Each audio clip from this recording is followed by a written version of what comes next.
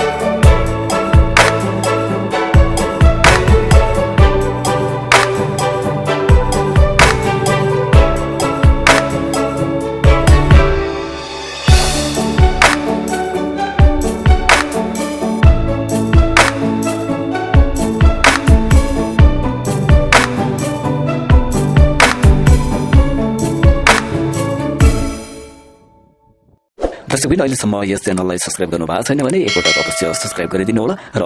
कस्तो लाग्छ प्रतिक्रिया दिनु भने होला